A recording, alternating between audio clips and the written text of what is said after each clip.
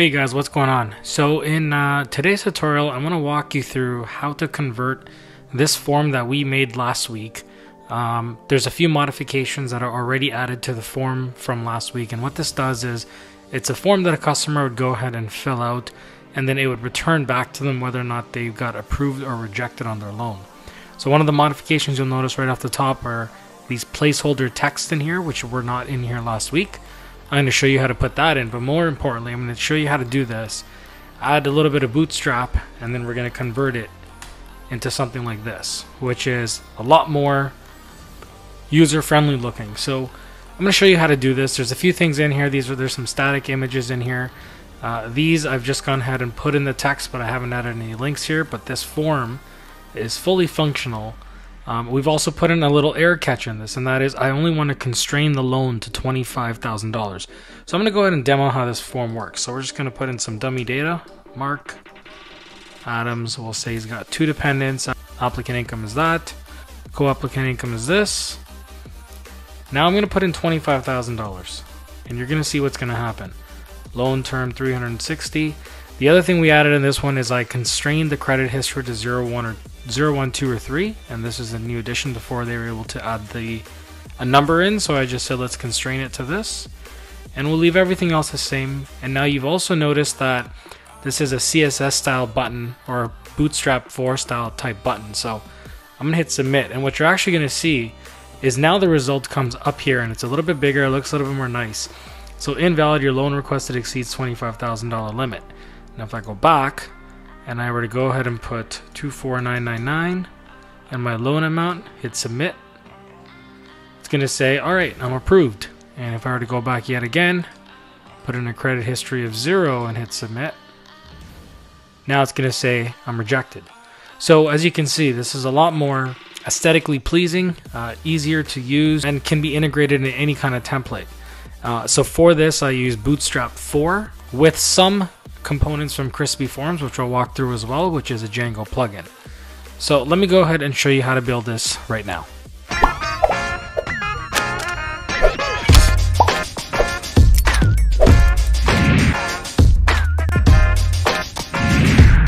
Welcome back.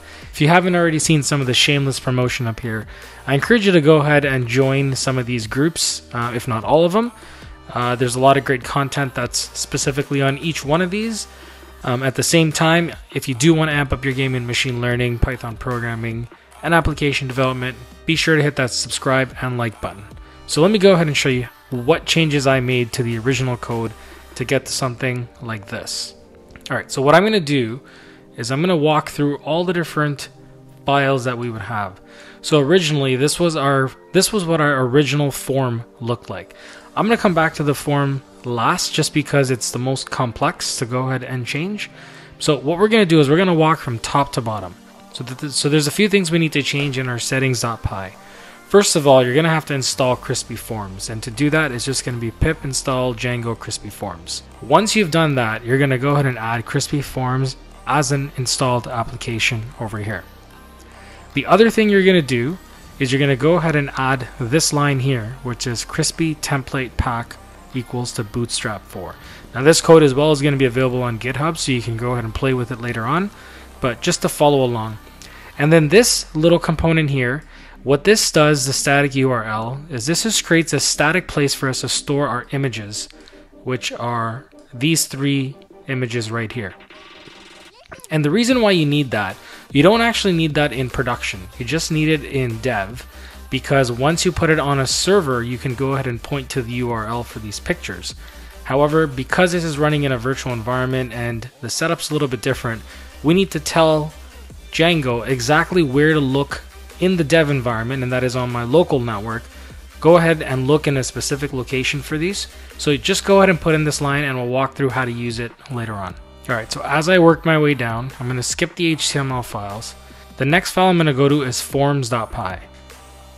Okay, so everything for the most part remains the same, with the exception of me adding in these placeholders. So it's the exact same forms.char field. We had max length equal to 150. Then I just added comma and then widget equals forms.text input, then attributes and, and placeholder is equal to enter first name. And so that's what's going to show on the form right here. Enter first name, enter last name. And those are just placeholders to give people some direction on exactly what to put in there. And anywhere there's a integer, I left it as an integer. I did not put any quotes around it. And that's really the major change. I didn't you can't really do that for drop downs, but really it's meant for anything that has a text input or anything that has a number input. So if this is an integer field, you're going to use number input. If this is a char field, you're going to use text input. All right, so going down to my next file, we're going to go down to models.py. And in models.py, I did not make any changes, so thankfully we don't need to worry about that. The next one we're going to do is I only added in URLs py, you don't have to touch either. I only added this in so I have the old form and then I have the new form so that I can show you the difference. Now views.py has a minor adjustment. This was the original code and all I wanted to do is I wanted to say if the integer value of the loan amount in that data frame is less than $25,000, then go ahead and proceed as we had before. Print, the, print out the application status, then print out the answer. However, if it's greater than $25,000, which is handled by this else, then go ahead and send a message and say, invalid, your loan request exceeds $25,000. I should say, the $25,000 limit. And that's all we have to change here. You're going to render back to the same form, and then you're good to go. Really, where all the magic happens is this HTML file. So in the HTML file, there's a few things I did. I went to my form, and I added in a folder called images because any image that I wanted to store, I just want it to be in the my forms directory. So now we're going to go to CX form. Now there's a whole different slew of ways you can go ahead and design this. You can do something called a base HTML file and then just add in specific code to certain files, which is probably the right way to do it if you're going to build multiple pages. But because I only built one page, I left it this way. All right. First things first, what you're going to do is you're going to go ahead and add this link, which is for your Bootstrap. So really to get this link, it's quite simple. You're just going to open up your browser. You're going to go to a new tab. You're going to type in, go to Google, type in Bootstrap 4 URL. And you can go to, most of these have some kind of a link, but you can go to this one over here. Um, and then your link is going to be right here for your CSS. You can just copy and paste that. And once you copy and paste that into here, you're ready to rock and roll. If you have some jQuery and JavaScript stuff, you can go ahead and copy and paste this. I didn't use it this time around, but I put it uh, in my code anyways, and you just put it right before the body tag ends. But again, I didn't really use it, so it doesn't really matter if this was in here or not. This time around, I didn't use it. What this piece of code basically does is is consider this almost like an API. Every time you make some kind of a bootstrap call, it knows exactly what to do in that situation. So it's going to know whether or not to have a certain margin number or a certain padding number. It's going to know if you're putting in a row class versus something like a um, table class. So it basically has all these predefined things. And the best way to learn Bootstrap, honestly, is just go ahead and what you're to do is again, open a link, go to Bootstrap, go to documentation, and honestly start reading this. So the way I learned Bootstrap is, you know, obviously through a little bit of trial and error and, and doing some real life examples, but really I just went through the docs, the tutorials. Um, it really explains how everything is. Now, the most ex- important one that I think you guys would need to know is the grid examples, and this is a great uh, page to sort of walk you through how the grid examples work. But if you go here to grid system, this page here is honestly gold. Um, it'll tell you exactly how a page is set up. So if you picture an, an HTML page, consider span 12 to be the maximum length, the maximum width, sorry, that a web page would be. And what Bootstrap allows you to do is it allows you to segment it out into different types of components. So you can have literally span ones across here. So that means you're going to have 12 little boxes on your web page You can have span 6, which basically splits it into two different boxes, span 12, span 4 and 8. And I would say these two are fairly popular, and actually so is span 6 for that matter. But essentially, this is how you would go ahead and start setting up some of your stuff. So we're going to walk through that into the HTML code. So when I go ahead and look at the HTML code, we're going to work from top to bottom. So we've added in the bootstrap link, which is great. we're going to also go ahead and load static. So if you remember in settings.py, I told you guys about this static page. The way that static page works, essentially, is I'm going to go ahead and define that static page. So if I were to just show you the way the directory system is set up, just to give you some more context. But when you look at the way this is set up, so remember we have uh, Django API, which is a project, my API, which is the actual application. When you click on that, this is the main directory that you get in here. So let me just clean this up here. Once you do this, you're going to have all these different pages. Essentially, it's the same file where your models.py, your tests, and all that other kind of stuff is sitting. In that, I went ahead and set up a static directory. In static, I have my images, and then these are all the different images I have that feed it up there. So your static directory is essentially going to sit in the same as your application directory. And then from there, you can go ahead and fetch all the different images you want. And so when you're doing this, what you're going to say is load static. So load, go ahead and load what my static URL is set up as. Load crispy forms tags. You're going to need this to access crispy forms. And then as you go through this, these are all different types of bootstrap codes. And this is basically saying set my margin on both sides of my page horizontally because this is the x-axis by 2 which has a predetermined amount. I think it's 50 or 100 px uh, or pixels.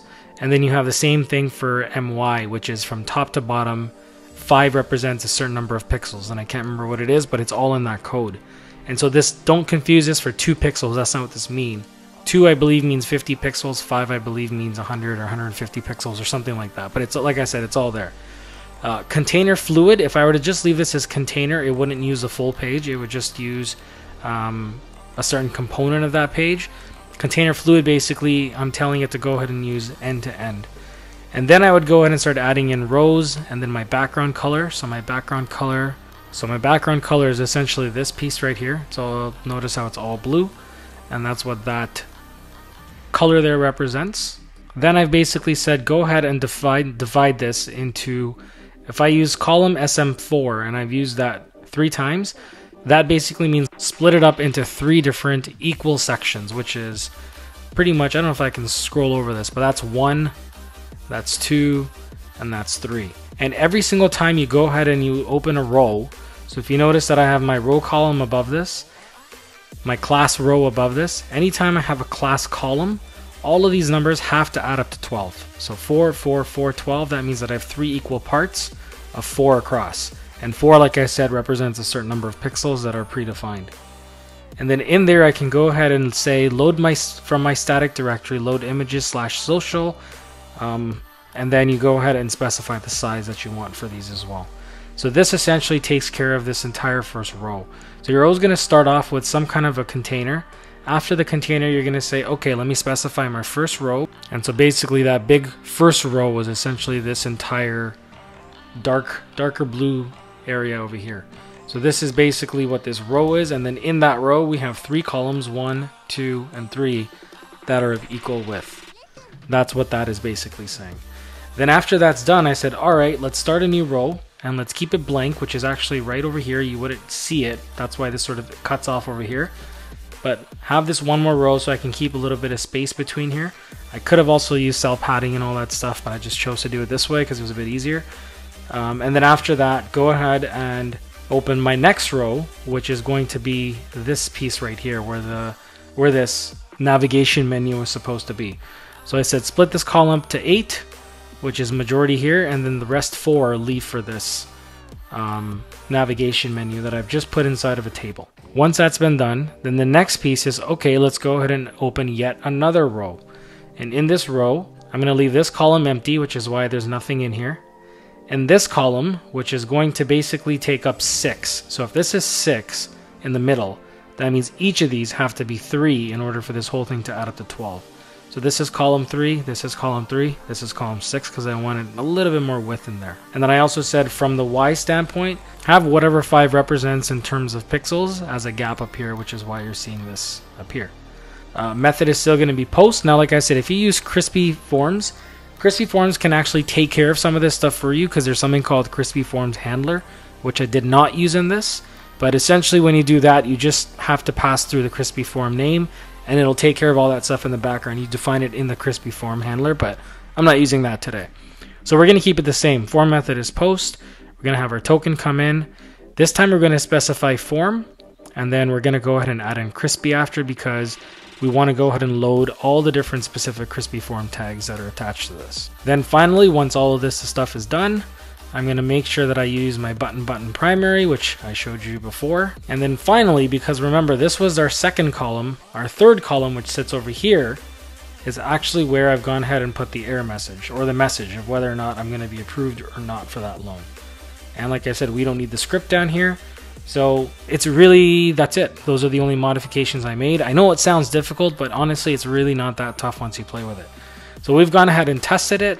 You know, if I were to go ahead and continue this tutorial series, I probably won't and I'll end it off here. But if I would, I would probably show you um, in a next tutorial, not linked to this, but maybe to something else, how I would go ahead and create this navigation menu using the URLs py urls.py file and how I can maybe even add a second application. So, you know, I hope you guys enjoyed this tutorial. It was a very short one, but really I wanted to show you how you can take something, you know, really functional like this, but extremely boring looking and create it into something a lot more dynamic and fun to look at and play with. And you can go ahead and add another application here if you wanted to. So, you know, sky's the limit in terms of what you can do with this stuff.